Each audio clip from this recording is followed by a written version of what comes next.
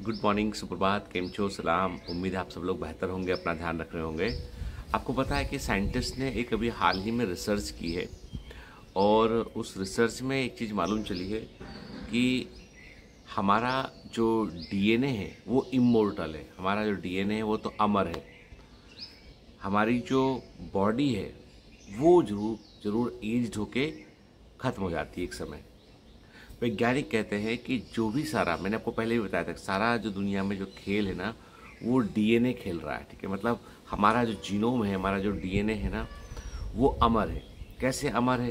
जैसे क्या होता है कि एक जनरेशन के पास में यदि डीएनए है तो वो अगली जनरेशन को एक सेट क्रोमोजोम का पहुँचता है, फिर अगली में पहुँचता है।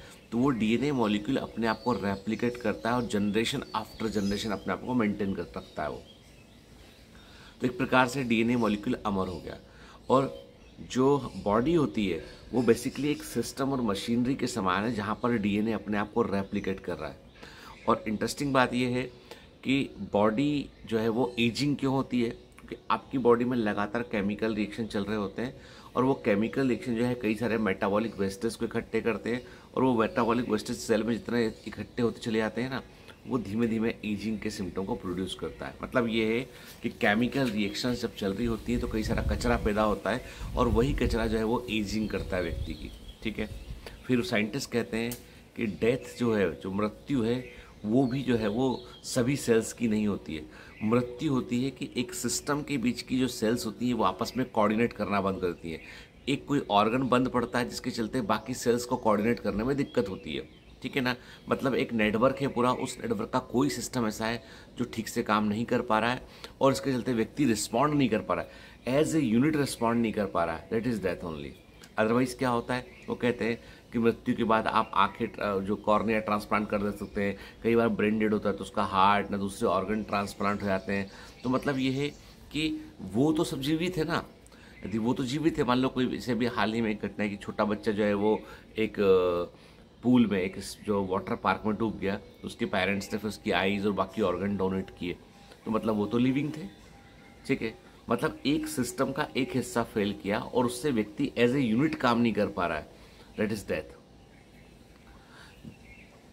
फिर इंटरेस्टिंग बात यह है कि साइंटिस्ट कहते हैं कि जो बिलियंस ऑफ़ सेल्स अंदर होती हैं, वो सभी सेल्स मिलकर एक सिस्टम के रूप में काम करती है और वो सिस्टम का ही रूप हम लोग हैं, ठीक है ना?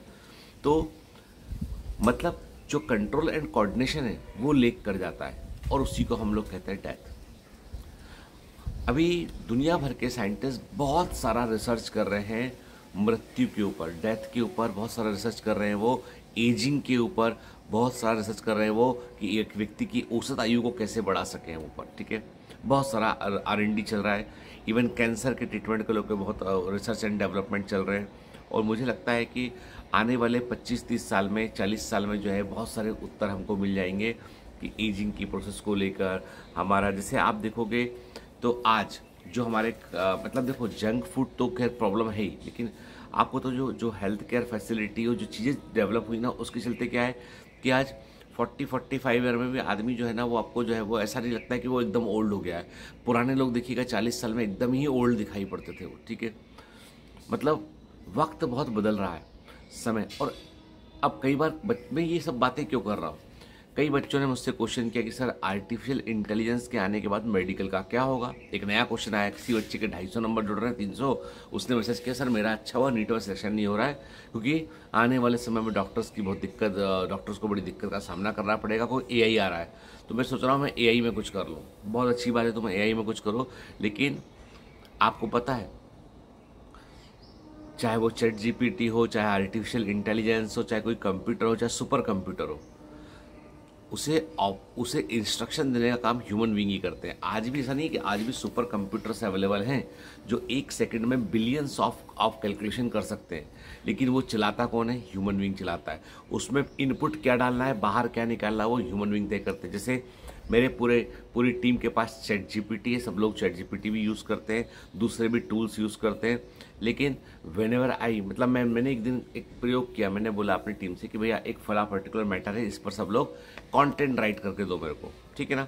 सब लोगों ने अपने अपने अकॉर्डिंग चैट जीपीटी पर सर्च किया कंटेंट को निकाला, जब कंटेंट निकल के फाइनली उन्होंने फिर एडिट भी किया और सामने आया ना तो डिपेंड तो सबके कंटेंट अलग अलग थे। सबके इनपुट अलग थे तो आउटपुट अलग थे आउटपुट के बाद करेक्शन अलग अलग थे उसमें। कहने का मतलब ये कि व्यक्ति जो सर्च करा, जैसे गूगल है। गूगल आपके पास भी गूगल मेरे पास भी। अब गूगल में मुझे क्या देखना है? गूगल में मैं क्या सर्च कर रहा हूँ? आप क्या सर्च कर रहे हो? ये ये डिपेंड करता है कि हमारी नीड क्या है। मैं क्या सोच रहा हूँ? आप क्या सोच रहे हो? जैसे कि हम लोग कई बार कुछ चीज़ सर्च करते हैं ना सेम चीज़। मान लो अमर सर बैठे, मैं बैठा हूँ और चिन्मय सर बैठे, कोई बैठा तो कुछ सर्च कर रहे होते हैं। तो सेम चीज़ को हम डालते हैं अपने अपने तरीके से और हमको अलग अलग रिज़ल्ट देखने मिलते हैं। मतलब ये है कि आज भी आर्टिफिशियल इंटेलिजेंस पर जो सुपर कंट्रोल है वो ह्यूमन बींग्स का ही है, ठीक है? और आगे भी वैसे ही रहेगा। आगे भी वैसे ही रहेगा वो, ठीक है? मतलब ये सोचना कि आर्टिफिशियल इंटेलिजेंस के आने के बाद बहुत कुछ बदल जाएगा। मैं कहता हूँ कि जैसे देखिए, एक ज़माने में हम लोग घोड़ा घोड़े पे बैठ के घोड़ा दौड़ाया करते थे। पुराने समय की बात है, ठीक है ना? कि घोड़े घोड़े हुआ करते थे लोग पास बैलगाड़ियाँ हुआ करती थी। फिर क्या हुआ? साइकिलें आ गई मोटरसाइकिलें आ गई कारें आ गई ठीक है ना? अभी जैसे कि भी एक, एक मुझे लगता है कि शायद स्वीडन में या स्कॉटलैंड में कहीं पर जो है वो फ्लाइंग कार की टेस्टिंग हुई अभी। फ्लाइंग कार की टेस्टिंग हुई है यूरोप में कहीं पर। तो वो फ्लाइंग कार पहले इसको लाइसेंस प्रोवाइड किया गया भाई हाँ ये गाड़ी सेफ़ है यूज़ के लिए। तो मतलब अगले 20 साल में आप देखेंगे उड़ने वाली कारें भी दिखाई पड़ेंगी आपको। ज़्यादा लंबा समय नहीं, अगला 20 साल। मैंने आज के चार पाँच साल पहले कभी कहा था कि आपको अब अधिकांश बैटरी वाली गाड़ियाँ दिखना शुरू होंगी सड़कों पे। और अभी आप देखिए, जब रोड पे निकलेंगे ना आप किसी भी शहर में तो आपको हर दस गाड़ी में से एक गाड़ी आपको बैटरी वाली दिख जाएगी। और ये संख्या भी आधे से भी अधिक पहुँच जाएगी अगले पाँच सालों में। मतलब बैटरी ऑपरेटेड व्हीकल ठीक है ना? सोलर पैनल वाले व्हीकल आने वाले हैं आपकी सोलर पैनल लगा होगा बैटरी चार्ज अपने आप होगी, धूप में गाड़ी खड़ी करो बैटरी चार्ज होगी, चलाओ गाड़ी को, जितना चलाना है। कोई बार बार चार्ज नहीं कराना गाड़ी को। मतलब धीमे धीमे जो है वो एनर्जी के के इफ़िशेंट यूज़ की तरफ़ हम लोग बढ़ रहे हैं। मतलब ये है कि जितना टेक्नोलॉजी हमने डेवलप किया ना, उतने हमने दूसरे काम किए, जैसे कंप्यूटर्स है। कंप्यूटर्स आने के बाद लोगों का काम खत्म नहीं हुआ, बल्कि वो कंप्यूटर पर काम करने वाले लोगों को हायर आउट करने लगे। पहले टाइपिस्ट हुआ करते थे, फिर डीटीपी ऑपरेटर हुए। ना? अभी क्या, अभी जो कंटेंट यदि बन के भी आ रहा है तो उस कंटेंट को ठीक करना प्रूव करना तो इंसान की इफ़िशेंसी बढ़ रही है। पहले डायग्नोसिस के लिए नाड़ी पकड़ो, ये करो, बहुत सोचो उसके बारे में ना? तमाम चीज़ें चेक करो, तब जाके डायग्नोसिस बना पाते हैं डॉक्टर अब क्या है? अब वो दस जांचें लिखते हैं, खट खट खट खट पैरामीटर सामने आते हैं चेक करते हैं। स्टेथोस्कोप ऐसा आ गया कि आप कान में लगाएँगे तो पूरा का पूरा आपको साउंड से लेके हर चीज़ को रिकॉर्ड भी कर देगा, और भी चीज़ें बतला देगा आपको। ऐसे स्टेथोस्कोप आ चुके हैं, ठीक है ना?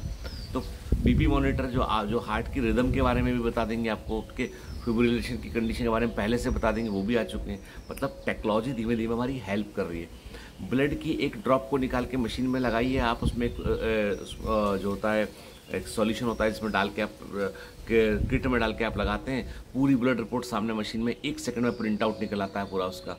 मतलब ये कि technology is going to help us ठीक है? It is not going to destroy our career हाँ आपको इक्विप्ड होना पड़ेगा। जैसे मैं अभी भोपाल में कमांड सेंटर के लिए मैं इंटरव्यूज़ कंडक्ट कर रहा हूँ तो क्या देख रहा हूँ?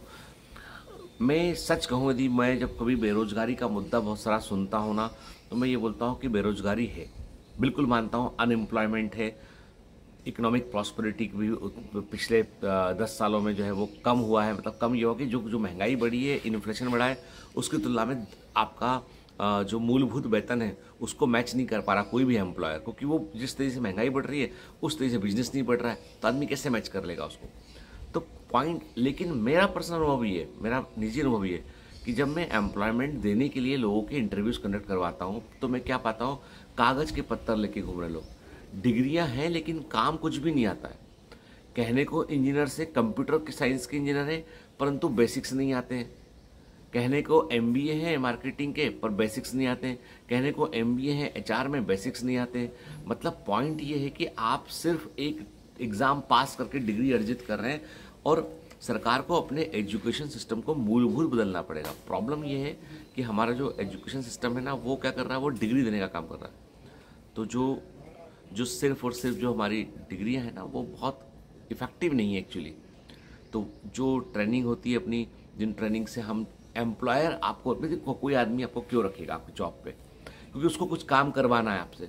और काम यदि आपको करना नहीं आता है तो आपकी डिग्री को लेके वो क्या कर लेगा वो? तो मतलब अभी जैसे कल परसों एक इंटरव्यू हुआ, उसमें कोई कुछ लोग आए। दे आर एक्सपर्ट इन मतलब वो यूट्यूब में काफ़ी अच्छा काम कर रहे थे। डिग्री वगैरह उनकी डिफरेंट थी। तो उसको उस पोस्ट के लिए कंसिडर किया गया, भाई तुमको चैनल मैनेज करना है। तो पॉइंट ये है कि आपको आ, मेरे मुझे ध्यान अच्छे से मेरे फा, मेरे फादर जज थे। तो मैं एक दिन उनकी मार्कशीट मेरे हाथ लगी तो मैंने क्या देखा उसमें उनको टेलर टेलरिंग का काम उन्होंने सीखा हुआ था। तो मैंने कहा डेडी टेलरिंग का काम? टेलर बनना था क्या? बोले नहीं हमारे समय में क्या था कि आप एट्थ नाइन्थ होते थे आपको एक सब्जेक्ट चुनना पड़ता था कोई एक स्किल में आपको काम करना पड़ता था। तो मैंने टेलरिंग सीखी हुई है। कपड़े सिलना ये करना वो टेलरिंग मुझे आता है। भले ही मैंने कभी ज़िंदगी में नहीं किया दोबारा, लेकिन मुझे वो आता है। तो पॉइंट ये है कि वो क्यों करते थे ताकि आप कभी बेरोजगार ना हो? तो वो जो स्किल है ना, कि भाई आपको जैसे फॉर एग्जांपल कि आपको जो नई टेक्नोलॉजी है, उसे यूज़ करना है, कैसे यूज़ करना है तो उसे पास होने के लिए नहीं करना, वो डेली बेसिस पे करना है। तो पॉइंट ये है कि स्किल डेवलपमेंट सबसे बड़ा इशू है दुनिया में। मतलब स्पेशली इन इंडिया सबसे बड़ा, अब लोग कहते हैं अमेरिका में ग्रेजुएट कम है। लोग कहते हैं यूएसए के अंदर जो है लोगों के पास डिग्रियाँ कम है। पर आपको पता है यूएसए के लोग जो है वो डिग्रियाँ कम है, लेकिन प्रैक्टिकल नॉलेज बहुत ज़्यादा है उनको चीज़ों का। मतलब बारहवीं पास या दसवीं पास बच्चा भी जो होगा ना, दसवीं फेल भी होगा तो कंप्यूटर के बारे में वो उतना जान रहा होगा जितना अपने यहाँ का इंजीनियर नहीं जान रहा होगा। तो प्रॉब्लम वही है ना कि हम स्किल पर फोकस कम कर रहे हैं। स्किल पर फोकस करना चाहिए हमको, ठीक है ना? तो ऐसा बिल्कुल it is not going to happen कि ए कुछ बदल देगा बहुत बड़ा। एआई आपकी बहुत बड़ी हेल्प करेगा।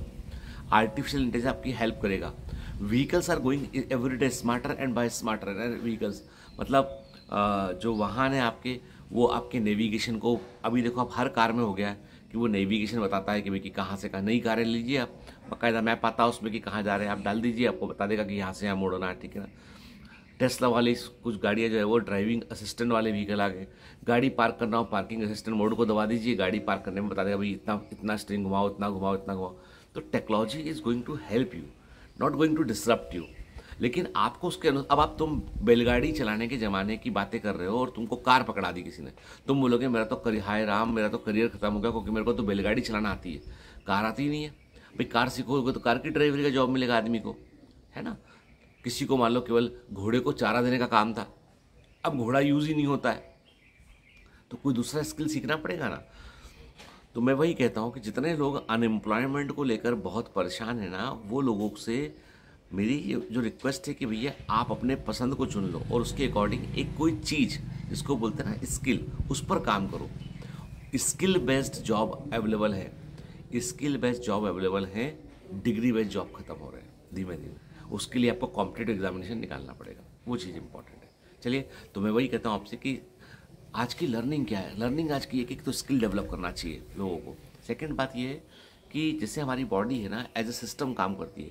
एक पूरा यूनिट के रूप में काम करती है और यूनिट का कोई भी चीज़ काम नहीं करेगा ना तो, तो बॉडी को हम कहते हैं भाई ये तो खत्म हो गया व्यक्ति। ताकत भी ऐसी होती है। जीत की ताकत भी ऐसी होती है कि जब आप सब सब कंट्रोल करके एक साथ एक यूनिट के रूप में रिस्पॉन्ड करते रहे तो आप जीत जाते हैं। चलिए have a great day all the best bye bye